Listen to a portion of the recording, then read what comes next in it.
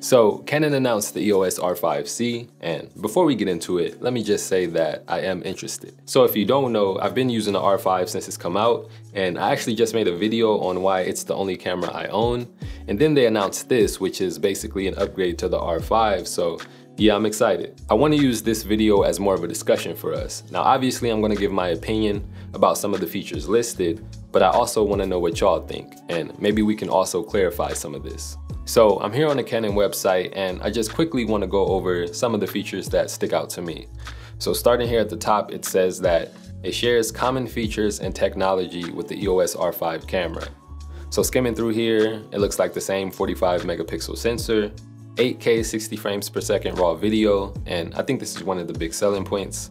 And it talks a bit about the photography capabilities with 1053 automatic autofocus zones, eye, face, head detection, and also detection for animals and cars. Moving on, it says that when you switch into video mode, you'll get the familiar Cinema EOS menu system with high-level video features. So I'm assuming that this is gonna be pretty different from how the R5 menu works in video mode. I'm not sure. I've never used a Canon Cinema camera, but I'm all for it. But it does say that the photography mode will be pretty much the same as it is on the R5. So that's good. Now, one of the big things for me here is that there's an internal cooling fan, and this is allowing for no limit on 8K 60p recording. The only limit is gonna be memory, and I'm sure that this is gonna eat up memory pretty quick, but the point to take away from this is that the camera should have no overheating issues. At least that's what I'm getting from it. When the R5 first dropped, you know, that's what everybody was talking about, the overheating problems, and this should combat that.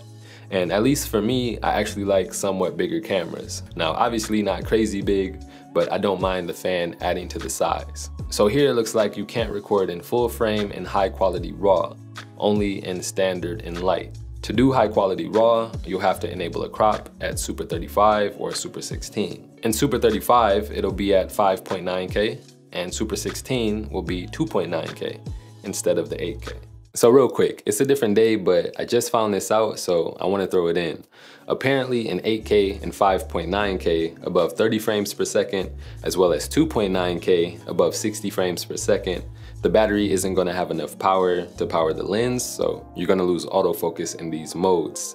And if you wanna use autofocus in these modes, you'll have to use an external battery. And this can be an issue for some people, but I also feel like a lot of people are gonna be rigging this up, so they will have that external battery, but it's gonna depend on the person. But yeah, I just wanted to add that in there. Let's get back to the features. So looking at this table here, it seems like you won't be able to record 8K 60 frames per second in the MP4 format, it only goes up to 30p. It has 4K 60s of course, but I wonder if this is the oversampled 4K or just the standard 4K. Maybe y'all can let me know. Here it says that it does have oversampling for 4K and 2K, so that's dope.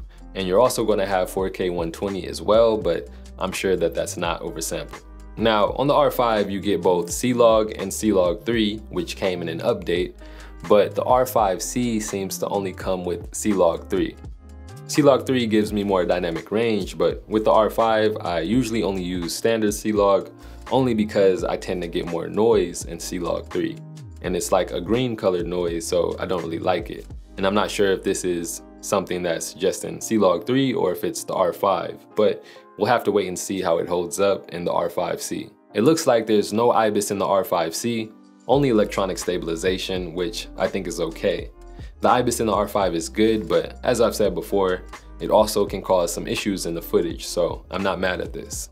So look, I know this was a quick video, but that's all the features that I wanted to go through. There's more specs on the website, and if y'all want to check that out, I'll leave a link down in the description. This is essentially an improved R5 with the focus on video. And you know, ultimately, I could look at all the specs and sit here and analyze it, but I'm more the type that I want to get it in my hands and test it for myself. Hopefully I'll be able to get my hands on it when it drops. As far as the price, it's 4500 and y'all can let me know how y'all feel about that.